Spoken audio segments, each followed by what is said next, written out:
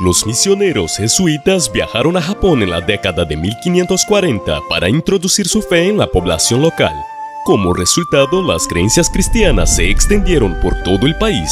Sin embargo, después de 50 años, los cristianos fueron perseguidos y martirizados. Hola, viajeros de la historia. Hoy vamos a conocer la terrible historia de cómo el cristianismo estuvo a punto de ser borrado de Japón con la sangre de los cristianos.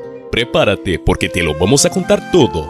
Antes ya deja tu super like, suscríbete al canal y sin más preámbulos, vayamos al video.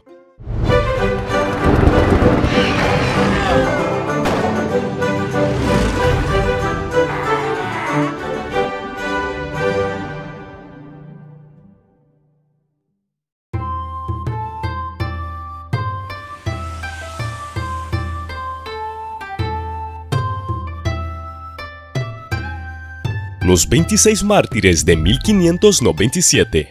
A finales de la década de 1580 y principios de la de 1590, Toyotomi Hideyoshi gobernaba Japón y vio de primera mano el desarrollo del cristianismo en algunas zonas urbanas. Sintiéndose amenazado por la presencia de jesuitas y misioneros católicos españoles, Hideyoshi decidió que el cristianismo, como fe extranjera, suponía una amenaza para Japón ordenó que todos los misioneros abandonaran Japón en un plazo de 20 días. Aunque la prohibición no se aplicó estrictamente, sentó las bases para la persecución de los cristianos. Hideyoshi tomó nuevas medidas después de que un barco español, el San Felipe, apareciera frente a la costa japonesa y el capitán se jactara de los designios españoles de dominación mundial. Según el capitán español, los misioneros cristianos formaban parte de este plan. Hideyoshi entró en pánico y comenzó a afirmar que los cristianos eran espías. Esto selló el destino de 26 misioneros que fueron arrestados en la región de Kansai, mutilados públicamente y crucificados en Nagasaki. Estas víctimas fueron conocidas como los 26 mártires.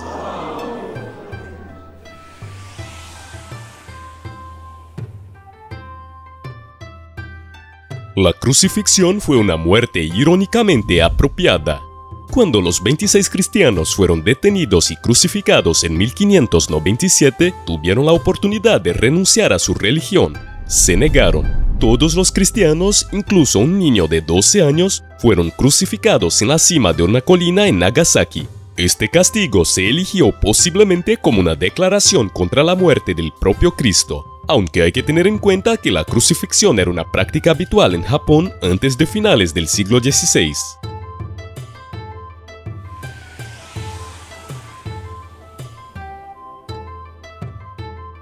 La tortura ha alcanzado un nuevo y oscuro nivel. El sucesor de Hideyoshi como soberano de Japón, Tokugawa Ieyasu, adoptó un enfoque aún más violento contra el cristianismo durante las primeras décadas del siglo XVII. En 1614, expulsó a todos los cristianos de Japón.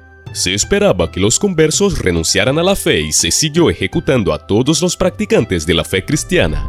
A pesar de todo esto, todavía había cristianos ocultos que decidieron permanecer en Japón. Se les conoció como Kakure Kirishitans.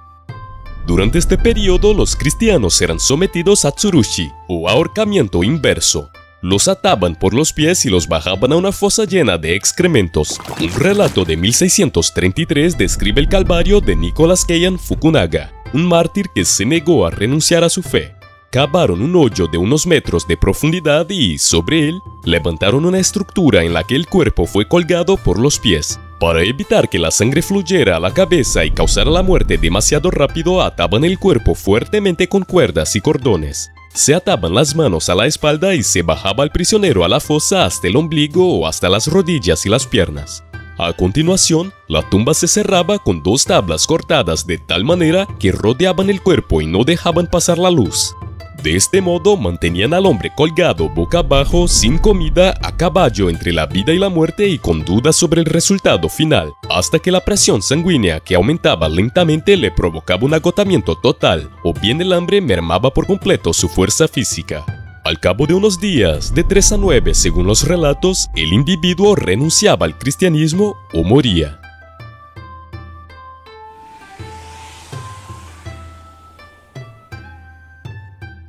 Los métodos de tortura incluían quemar a las personas vivas. En Nagasaki el comisario jefe empleó diversas tácticas para torturar a los misioneros jesuitas. Utilizaba la tortura con agua, asaba a la gente viva y cortaba a los misioneros con sierras de bambú para causarles un dolor terrible. También ponía a la gente en un caballo de madera con pesos atados en las piernas para torturarlos. Los métodos para hacer que la gente gritara y renunciara al cristianismo eran infinitos. El comisario jefe también amputaba apéndices, aplastaba miembros y metía a las mujeres embarazadas en barriles de agua fría hasta el parto. También sometieron a los campesinos cristianos a la danza del impermeable, el Mino Odori. Las víctimas eran envueltas en un abrigo de paja cubiertas de aceite y prendidas fuego. Los giros, las vueltas y los movimientos de pánico de la persona que se quemaba eran la danza.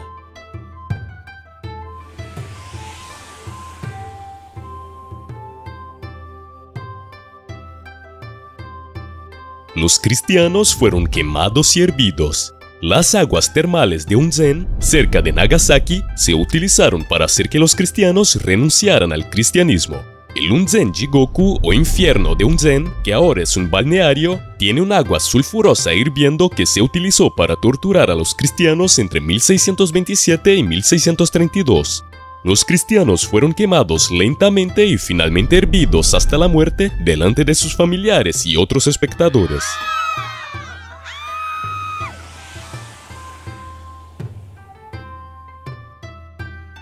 La tortura con serpientes sirvió para varios propósitos. Arrojar a un cristiano a un pozo de serpientes era también una práctica común durante este oscuro periodo de persecución en Japón. Las fosas de serpientes son literalmente agujeros llenos de serpientes que se arrastran.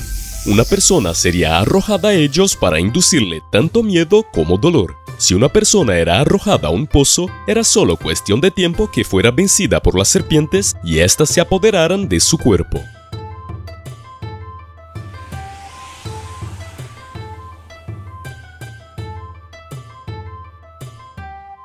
Mujeres sin ropa fueron obligadas a arrastrarse por las calles. En la década de 1620, el gobernador de Nagasaki utilizó todos los medios necesarios para encontrar cristianos. Fue de casa en casa, asegurándose de que cada individuo fuera identificado como no cristiano o, si era identificado como cristiano, se retractara. Si las mujeres se negaban, las obligaba a salir desnudas a la calle de rodillas e instituía las palizas para obligar a la gente a renunciar al cristianismo.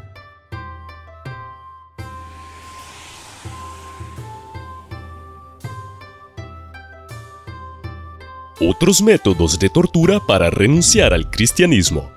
Las autoridades japonesas encontraron nuevas formas de poner a prueba a los cristianos pidiéndoles que destruyeran y profanaran los símbolos cristianos. Al principio los cristianos o supuestos cristianos se veían obligados a caminar sobre cruces de papel, luego sobre cruces de madera y finalmente sobre cruces hechas con los restos de los altares de las iglesias destruidas. Finalmente en 1660 se fabricaron en Nagasaki azulejos de bronce con Cristo en una cruz que se regalaron a todos los hombres, mujeres, niños, esclavos y sirvientes de cada hogar. Se esperaba que los individuos caminaran sobre la imagen. Los niños que no podían caminar eran llevados por sus madres, que tenían que asegurarse de que los pies del niño tocaran la baldosa. Si una persona no caminara por encima de la imagen, se la llevan para seguir torturándola.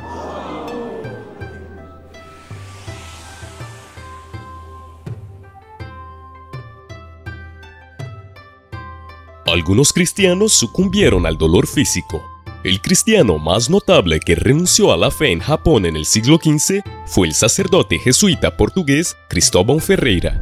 Ferreira llegó a Japón en 1610 y estuvo presente en las primeras persecuciones. A finales de la década de 1620 envió informes a Roma sobre el sufrimiento y la muerte de sus compañeros jesuitas. En 1632, Ferreira se convirtió en jefe de la misión jesuita en Japón.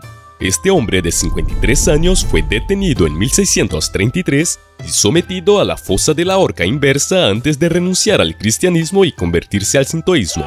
Esto fue un golpe para los misioneros cristianos de todo el mundo, pero fue un éxito para los esfuerzos anticristianos de Japón. Ferreira fue expulsado de los jesuitas por condenar el cristianismo en varios escritos durante su estancia en Japón. Incluso actuó como interrogador implacable cuando los misioneros eran capturados y llevados para ser interrogados.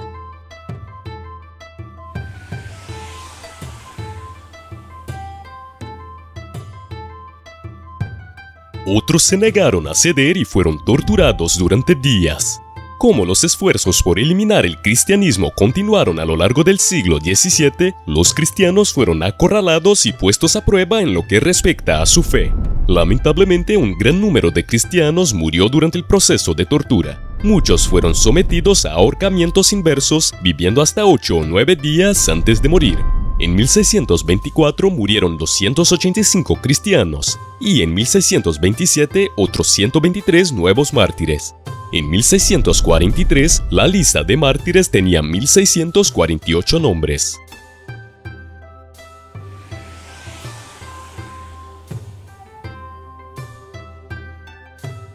Casi 300 años después, los ciudadanos recibieron la libertad religiosa. Las atrocidades sufridas por los cristianos japoneses continuaron durante varias décadas, hasta que la mayoría de los jesuitas y católicos fueron expulsados del país, asesinados u obligados a pasar a la clandestinidad.